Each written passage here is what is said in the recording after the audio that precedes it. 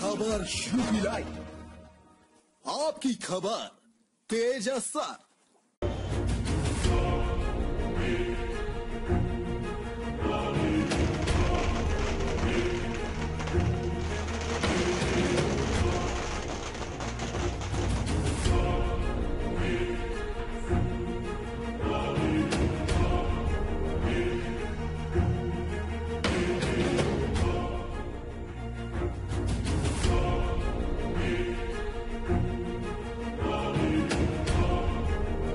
BJP सांसद और राष्ट्रीय मंत्री हरीश द्विवेदी ने अखिलेश यादव पर दिया विवादित बयान। अखिलेश यादव सीएम पद के लायक हैं ही नहीं। जनता भी उन्हें नकार चुकी है। हरीश, अखिलेश यादव जिन्नावादी हैं। वो धर्म के आधार पर प्रदेश को बांटना चाहते हैं। राष्ट्रीय मंत्री, अखिलेश यादव ने जनता का पैसा लूटकर अपने घर में भरा है। सरकार कार्यवाही कर रही है। बाप की कमाई, नाम त्याग, परिश्रम और वंशवाद परंपरा ने उन्हें सीएम बना दिया। प्रधानमंत्री नरेंद्र मोदी के गोरखपुर आगमन को लेकर आयोजित पीसी में बोले हरीश द्विवेदी। गोरखपुर में बने एम्स और खाद। गोरखपुर में बने एम्स और खाद कारखाना पूर्वांचल के लिए वरदान है। हरीश द्विवेदी। बीजेपी के नेता अब सपा पर लगातार हमलावर हो रहे हैं। बीजेपी के सांसद और राष्ट्रीय मंत्री हरीश द्विवेदी ने आज एक प्रेस वार्ता के दौरान पूर्व मुख्यमंत्री अखिलेश यादव पर कई गंभीर आरोप लगाए। यहाँ तक कि हरीश द्विवेदी ने पूर्व सीएम अखिलेश यादव को बता दिया कि वो सीएम पद के लायक हैं ही नहीं।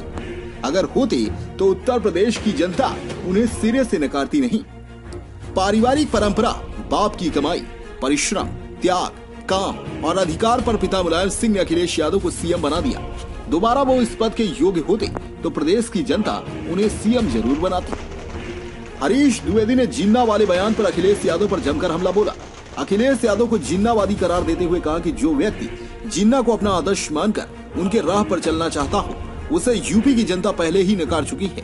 देश का बंटवारा करने वाले, अराजकता फैलाने वाले, धर्म के नाम पर तुष्टिकरण करने वाले, जिन्ना के रास्ते पर चलकर अखिलेश यादव उत्तर प्रदेश के टुकड़े करना चाहते हैं। वो यूपी में दंगा करवाना चाहते हैं। इतना ही नहीं, अखिलेश धर्म के नाम पर यूपी को बांटना चाहते हैं। इसलिए जनता उन्हें ऐसा करने ही नहीं देगी। बोले कि जो व्यक्ति अपने और अपने परिवार के लिए केवल काम किया है, वो वंशवादी परंपरा के तहत सीएम बन गए और उन्हें लगता है कि उनका सीएम बनना अधिकार है। तो ये पद किसी की जागीर नहीं है। अखिलेश यादव ने जनता की कमाई लूटकर अपने परिवार में रखी है, जिसे जनहित में निकालने का काम सरकार कार्यवाही के ज़रिए कर रही है। दरअसल बीजेपी के राष्ट्रीय मंत्री हरीश द्विवेदी प्रधानमंत्री नरेंद्र मोदी के गोरखपुर दौरे को लेकर बोल रहे थे। उन्होंने कहा कि गोरखपुर में खाद कारखाना और एम्स की स्थापना होना पूरे पूर्वांचल के लिए किसी वरदान से कम नहीं।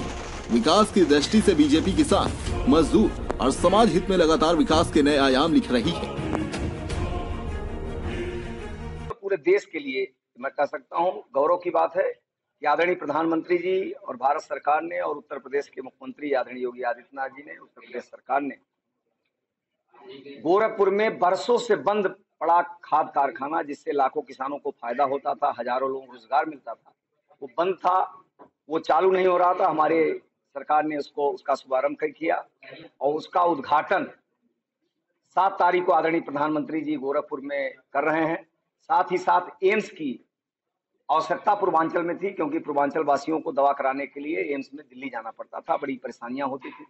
पैसा खर्च होता था और दवा ठीक से नहीं होती आज एम्स और खाद कारखाना यहाँ गोरखपुर में बनकर के तैयार है।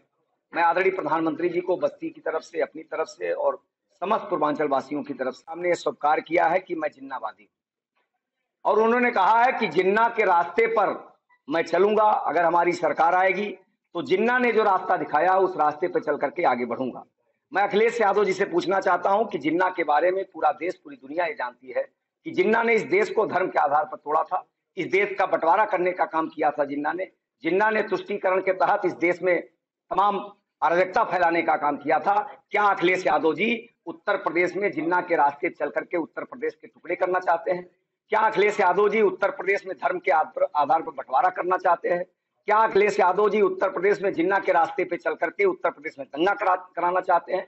आज उत्तर प्रदेश की जनता पूरे देश की जनता ये समझ रही है कि जो जिन्ना को अपना आदर्श मानता हो जो जिन्ना के रास्ते पर चल चलने का संकल्प ले रहा हो उसको सबक सिखाना है और उत्तर प्रदेश की जनता सबक सिखाएगी। यादव ने कहा है कि प्रधानमंत्री और मुख्यमंत्री की व्यक्तिगत टिप्पणी की जिसका परिवार नहीं वो परिवार का दर्द क्या देखिए वो क्या टिप्पणी किए हैं क्या नहीं किए हैं ये तो मैं नहीं कह सकता लेकिन राजनीति में लोकतंत्र में ये राजशाही नहीं है। लोकतंत्र में लोगों के लिए काम किया जाता है, जनता के लिए काम किया जाता है, प्रदेश के भलाई के लिए काम किया जाता है, ना कि अपने परिवार के भलाई के लिए स- सफ़ेद के भलाई के लिए। पूरी उत्तर प्रदेश की जनता देख रही है कि उत्तर प्रदेश के आम जनता के गाढ़ी कमाई का पैसा अखिलेश यादव और समाजवादी पार्टी ने लूट करके अपने घर को भरा है और वह पैसा धीरे धीरे हमारी सरकार के द्वारा विभिन्न प्रकार की कार्रवाई करके जनहित में वो पैसा लिया जा रहा है।